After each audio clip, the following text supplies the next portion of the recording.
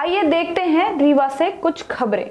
ज़िले में भ्रष्टाचार चरम सीमा पे है। राजनीतिक संरक्षण प्राप्त अधिकारी अपने निचले तबके के कर्मचारियों का जिस तरह से शोषण कर रहे हैं, आए दिन देखने को मिलता है। ताज़ा मामला बिजली विभाग का है, जहाँ ठेकेदार ने मीटर वाचक से रखने के नाम पर एसडीओ के द्वारा पचास हज़ार की रिश्वत मांगी गई थी। हद तो तब हो गई जब पीड़ित ने बीस हज़ार एसडीओ को दे दिया, लेकिन उसे काम पर भी नहीं रखा गया। तो परेशान होकर युवक पैसों की तो परेशान काट तो परेशान होकर युवक पैसों की मांग कर रहा था। तो गुंडों को भेजकर उसके ऊपर प्राणघातक हमला करवाया गया। पीड़ित ने मामले की शिकायत पुलिस अधीक्षक से की, लेकिन पुलिस ने कोई मदद नहीं की। पीड़ित का मामला विराट 24 न्यूज़ के पास पहुँचा तो पीड़ित की आवाज़ जन जन तक पहुंचाई गई, जिसके बाद एसडीओ ने अपने ड्राइवर से पीड़ित के घर 8000 पहुँचा दिया। दरअसल मामला एमपीईबी कार्यालय में प्रदर्शित कारपालन यंत्री नरेंद्र मिश्रा का है, जिनके द्वारा मीटर रीडिंग के लिए नौकरी देने के नाम पर रोहित कुमार मिश्रा निवासी मैदानी से घूस मांगा गया। और बीस हज़ार लेने के बाद भी काम नहीं मिला तो पीड़ित अपने पैसे की मांग करने के लिए दर दर की ठोकरें खा रहा था। पहले तो एसडीएम ने उसके ऊपर प्राणघातक हमला करवाया और पैसे मांगने और घूस लेने की बात से इनकार कर रहा था। जब पीड़ित को यह समझ आ गया कि नरेंद्र शर्मा कार्यपालन यंत्री के इराके नेक नहीं है तो उसने पैसे वापस करने का ऑडियो और वीडियो बनाकर अपने आप को निर्दोषित साबित किया।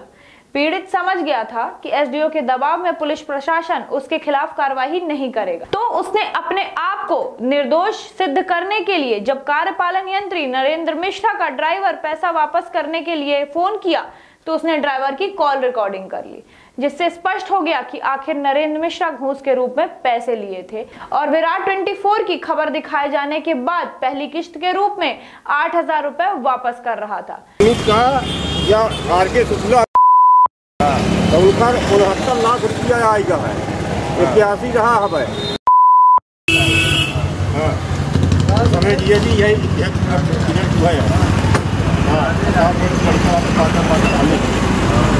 पहले सुनिए आप उक्त ऑडियो नरेंद्र शर्मा का चालक नंदू। पीड़ित के चाचा से बात कर पैसे वापस करने की बात करते हुए अधिकारी के द्वारा घूस लेने की बात कबूल कर रहा है। हेलो। प्रणाम। प्रणाम प्रणाम। कहाँ है नंदू? हेलो। कहाँ है? अरे हम तो थोड़ा गाँव जाए का विचार बनाए राघन इस धक्का कार्ड बना हुआ मोनू के आसी फ़ोन कह रहा। हाँ। वो हम सोची थे गाँव चले जाए रोहित भाई का हम फ़ोन लगाए हैं तो हमारा फ़ोन नहीं उठा पाता ही पता नहीं हमसे कौन बिगाड़ का हो ये कुछ समझ में नहीं आया। काहे घरे में पड़ा लाख ना ओखर गोट हुआ हुई है फ्रैक्चर। कहाँ? काहे ही तो डी साहब गुंडा भेजे रहे हैं पैसा मांग रहा है ओके कमरा में। कमरा में कब है अब हम हूँ आज गाँव जाब। तो थोड़ा फ़ोन से बात भय है। अब फिर चले आए हम कहते कि जब नहीं करे रहा तो पैसा कौड़ी दे देते हैं। नहीं तो पैसा तो हम उतना देते रहे ना भाई। वो तो अपने से उन्हें बता हम। नहीं तो उतना देते रहे तू तो उतने में थोड़ू काम चली वो उनका पूरा पैसा दे दे तू बतावा कमरा किराए से ले। हम कहते जब नहीं करे रहा तो दे दू दे। हाँ, यह बता सही है यह बता बिल्कुल ये बात। एक डी के खितीर बीस हज़ार रुपया का आया है। कुछ न हो कुछ न हो एक हुआ है उजा रहा है। उजा रहा है तो पैसा दे देते हैं। काहे को कहे है। बतावा उसे गोड़े में बताए बतावा रहे कि हम उसे तो बात नहीं भैया पे माने भैया बताएँगे यहाँ गोड़ यहाँ फूला है। गोड़े में डंडा उंडा लगा है। हाँ। तो जाब हम हूँ अब एक घंटे से निकल अब गाँव। ये तो हमका हाली जानकारी में नहीं आया अपना का अब अबे हमका बताई लागन हम कहा कि हम यही तो गाड़ी पकड़े हैं ना उनका हम बंद कर दिया उनका लग गए हुआ लग गए है कहा कहा बच्चे नई स्कॉर्पियो लग गए है। अच्छा स्कॉर्पियो लग गए उनके माँ? हाँ उन, हाँ उनका नई स्कॉर्पियो लग गया तो हमका दिनों से कोई मतलब है नहीं जानकारी नहीं है जेके साथ हमारा ही देता हम उसे मतलब रखी थे जेका छोड़ दें तो कोई मतलब है नहीं। तो हो गया रिपोर्ट रिपोर्ट तो रोहित का ही दी नहीं? है। रिपोर्ट रिपोर्ट का ही दी नहीं? जी। हाँ हो गया देखा। नहीं नहीं तो यह अगर करी नहीं तो फिर गलत है तो फिर पश्चाताप होगी ही ना। भोगी ही हो गया भोगी ही काम तरीके से भोगी ही। अब हमका कानून से लड़ाई का है। हमका नहीं नहीं तो वो तो फिर गलत बात ही सुनी। हाँ। सुनी हमारा सरकारी ड्यूटी न लगी लागी। हाँ से भगवान हमका गुरुदेव माधव चो तो कहो चलाओ तो हम अपना लड़का बच्चा पाल रहे हमारा सरकारी न हो लगी लागी गए हाँ। हम अब अब क्या बताई अब ठोका ससुर है सब मनाई अब ये लड़का ही छोड़ दी। इसकी ये सोची नहीं मज़ा आवे लड़का बरोबर हो लागे हाँ हाँ।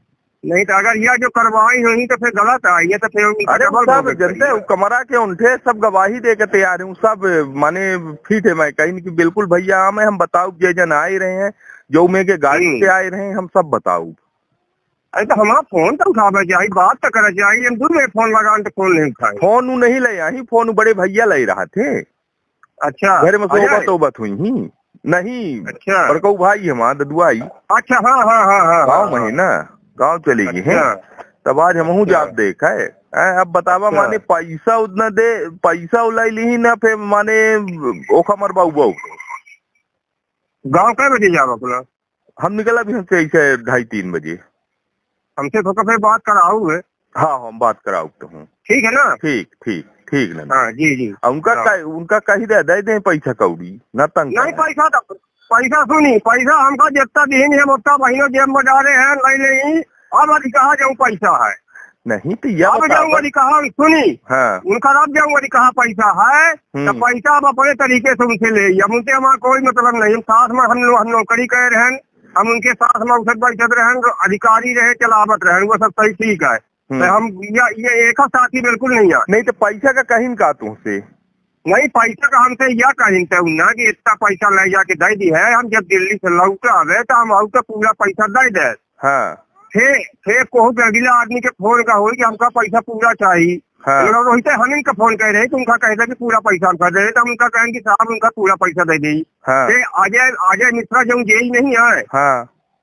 जो मारी गायन हाँ हाँ।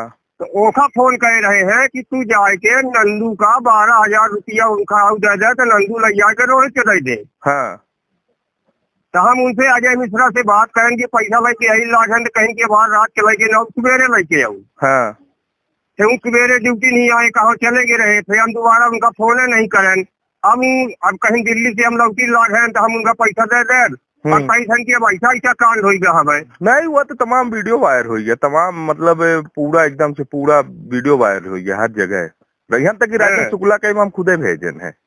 अच्छा। इसे ले आए ही इनका नहीं हो गया बहुत अच्छा ही बनाए ही राजेंद्र शुक्ला के। राजेंद्र शुक्ला का तो हाँ। निपटाए दी अच्छा। निपटाए दी वहाँ तक तमाम बात हम्म। पहुँच गए सब हर आदमी के जितने रहे हैं अपन आदमी मंत्री जी जी, के जी। बैठत रहे सब कहीं में भेज दिए ना सब जाके बिल्कुल उनके वहाँ तक स्वदेश पहुँच गए इनकर। हाँ जी जी जी। अब जब रोज दी रोज में बुआ होते अब देखी थे हम पच्चीस सब जन इकट्ठा होत गाँव वो कहीं के इकट्ठा करब राजेंद्र शुक्ला की हम जाप सब जने। जी जी। हाँ। ठीक नंदू है ना? ठीक। जी जी ठीक। यहाँ पर यूँ बात कराऊँगा हाँ हाँ बिल्कुल बात कराओ। हमारे यहाँ से हो तो हम आधी रात खड़े रहा। हाँ ठीक ठीक नंदू। हाँ। ठीक हमारे यहाँ से भगवान गुड़ है हम कहाँ तो ठीक है हम कहीं एम पी जी में बहुत अपना आदमी है ऐसा न होगा हाँ, ठीक है नंदू है ना? आए मैं हम कमाना चौदह ये बारह साल से आए हैं। हे यह बतावे कि तू तो खुदे चोरा है तू तो खुदे अभी तक सस्पेंड रहे है? काहे? अब तू ये अब अच्छा बताए कि जब पैसा वैसा दी पैसा जब लिए रहे तो बतावे क्या यहाँ की पैसा सब रुपये के दस बीस हज़ार रुपये की मर गए? हाँ अब पचास हज़ार की मानिए हो गई अब का कही? हो गई जा दे चलिए ठीक है भैया जाके हम फिर बात कराओ तो हाँ हाँ ठीक ठीक ठीक है प्रणाम। खुद। तो सुना आपने, किस तरह से बेरोजगारों को ठेकेदारी के काम पाने के लिए घूस देना पड़ रहा है?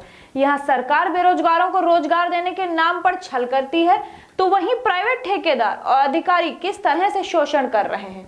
इसका जीता जागता उदाहरण आपको देखने को मिला है। आइए आप सुनते हैं। घूस के रूप में लिए गए पैसों को भी किस्त में मिलने के बाद पीड़ित रोहित मिश्रा ने क्या कहा?